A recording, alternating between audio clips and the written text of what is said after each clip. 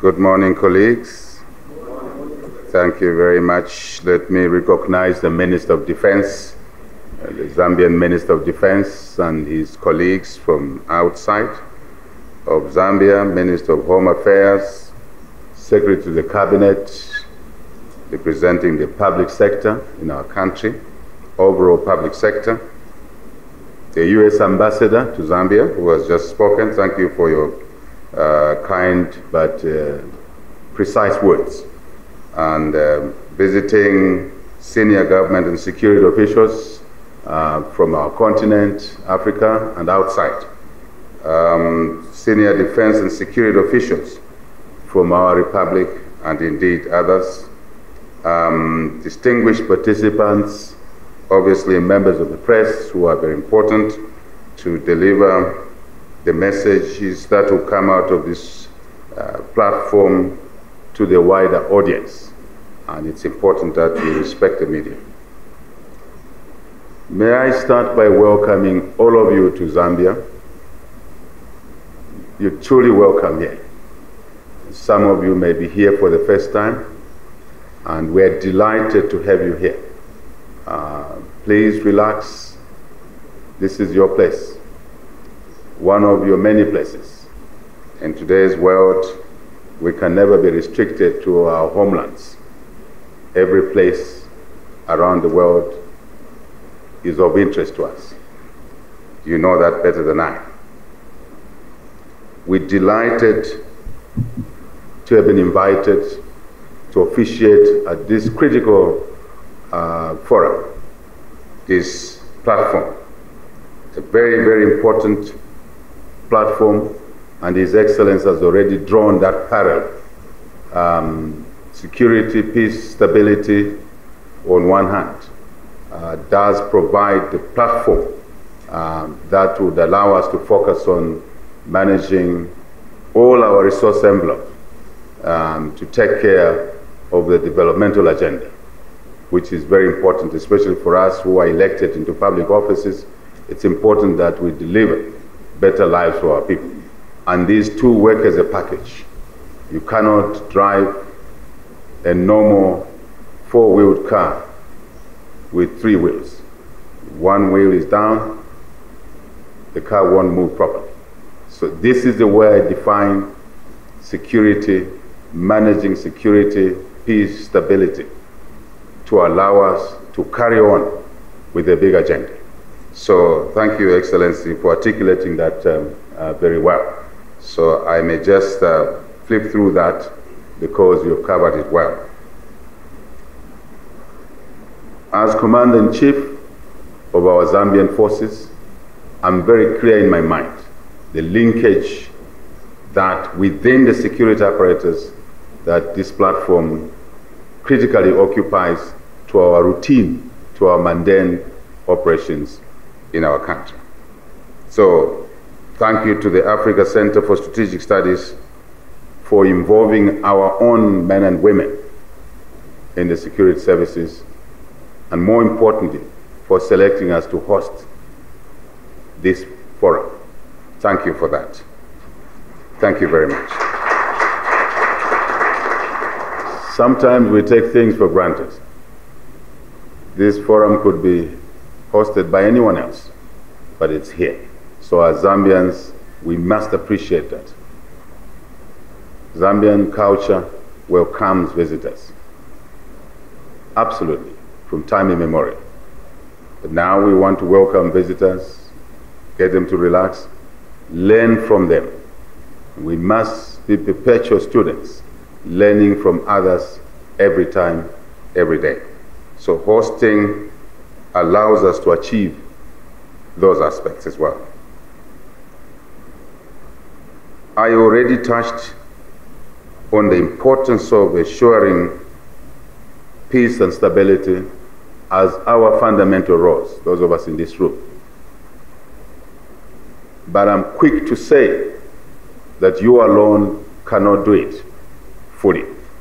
The cooperation of the civilian wings are extremely important. The political side, political will, leadership, strong leadership to support your needs to keep Zambia, to keep our region, Africa, and the globe safe is equally important because you may be skilled. If you don't have the support of the political leadership to get the resource envelope that you need to execute your mandate, then you are impaired. Many times, we the politicians anyway blame you, even though we have not given you the support. But as a leader of this country, a democratic country, we want you to know for the local wings that you have our support. For the rest of you is that we will encourage others in my situation, and I know they're doing it already, but we have to encourage each other to continue providing that critical support uh, to allow you fulfill your mandate, which is a people's mandate. I have said many times, and I repeat it here, that instability anywhere is instability everywhere. Haven't we seen that? Just scan your brain around what's going on around this continent, within this continent, outside of this continent, how it has affected our economic activities, our ability to deliver, as His Excellency said, basic food to our people, supply chain disruptions. It's very clear. So we are and must be each other's keeper. We are and we must be each other's keeper. And that's why sharing common practices, best practices, like you are doing in this session, is of vital importance to achieving our national stability, peace, stability, security, as it is for the region and indeed for our global community. So, we want to encourage you to remain attentive in this workshop. Please remain attentive, alive throughout, and maximize the knowledge sharing amongst yourselves. I must say, part of our challenge, you yourself seated here, is when we have government challenged in terms of governance. Because a weak governance arrangements, a weak rule of law in a particular country, denial of basic services to our people, as has already been touched, food, job opportunities, business opportunities arising from economies being deleteric, economies not functioning, exposes you in this room and our nations to very, very serious risks. Because such an environment where there's a breakdown in the rule of law breeds an atmosphere which encourages citizens to do things that we don't want them to do because they impinge on, they take away from that security, that stability, which we really need crucially. So, as leaders, you sit here as leaders of our wings, it is important that you are connected to the economic sectors, those who run the economic sectors, social sectors in our countries. Equally important, very, very important. But I must also thank our own security wings here at this stage, thank all of you from different countries for the services you've consistently rendered to fly high the flag of security, peace, and stability. Sometimes we take you for granted, but I want you to know you are appreciated. The work you do is well appreciated. Please remember that. The work you do is well appreciated.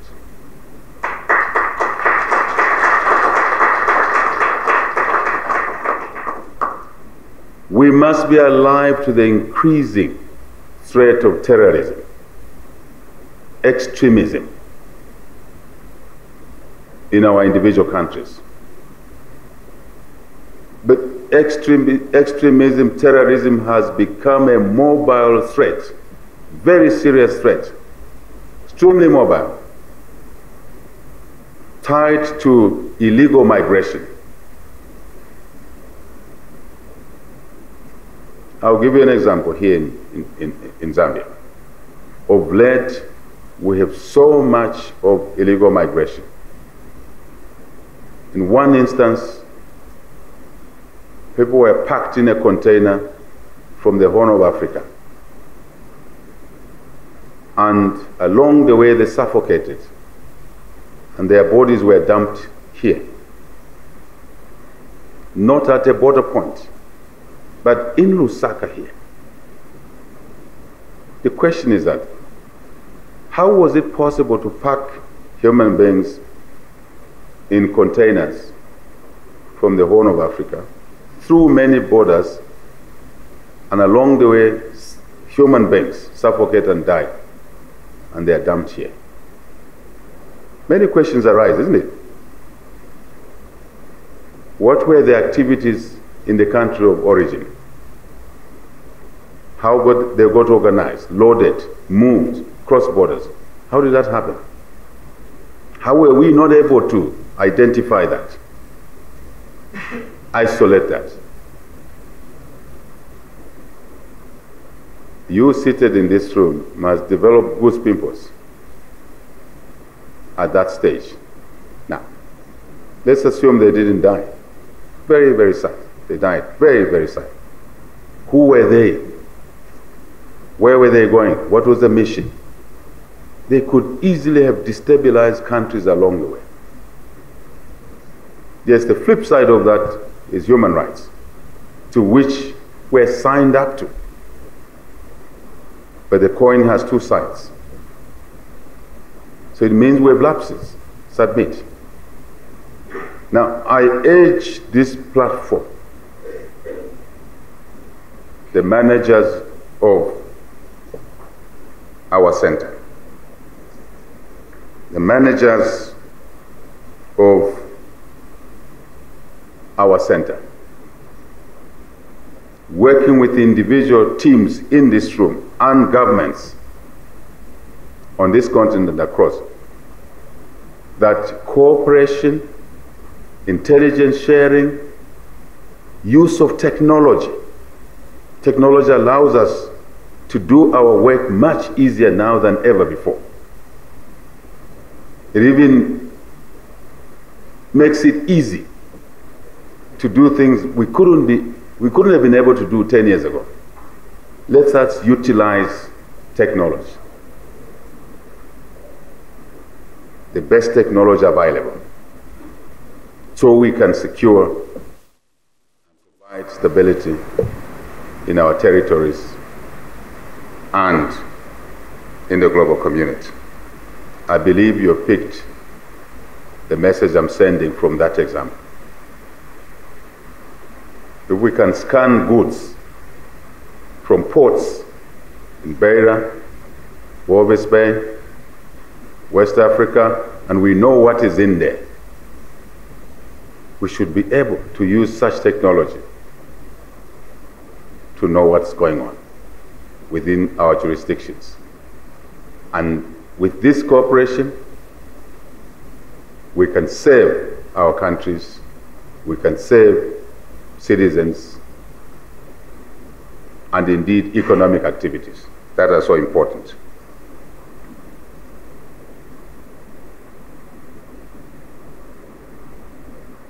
I think there's been a touch already made on the importance of the national security strategies. Flipping that, can we develop a national security strategy without a regional security strategy. Can we? Effective. Mm. But that's the beauty of what you're doing here. Is to say security in our own jurisdictions can only be secured if we are working in a holistic manner. I really believe in that. So, but it's important that we have an approach that is specific, that is broader, that understands the complexities of our world. And you are the experts. Who am I to tell you what you know already?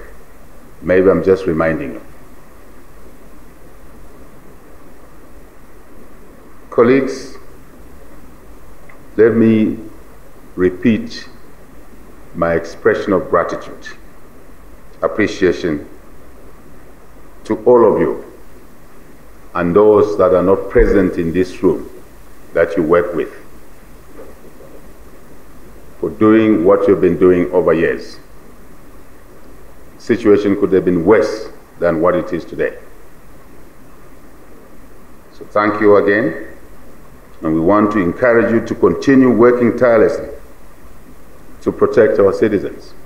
Citizens in our individual countries must feel secure. And then when they see one of us and the men and women that are out there we've left behind, citizen in our country, our countries must feel safe to approach you and not run away from you. Especially the policing side of the security wings. Only 20 months ago in this country, an average citizen, if saw the policeman, they'll run away from the policeman. Just 20 months ago. I think I'm, I'm just about right. 20, 21 months ago, if you want, before the change of government. Because attitudes were different. Bit of extremism right here, heavy handedness. But since we took office, we drew a line. And that this is not part of what we need as a country. 20 months later, 21 months later, the police will mingle with civilians. No one discharges tear gas. No one is discharging, raising guns all over the shore.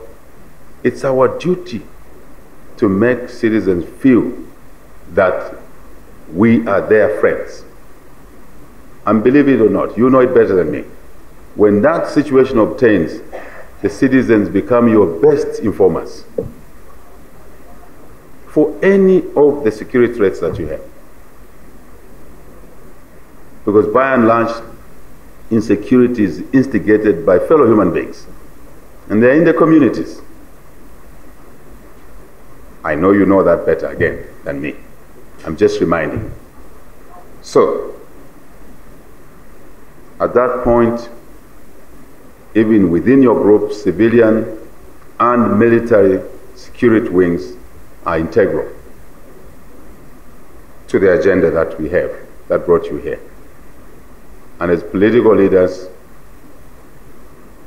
we are very keen and are very, very interested in seeing a harmonized approach to the challenges that we face in today's world. Thank you for your attention. May God bless you. Thank you.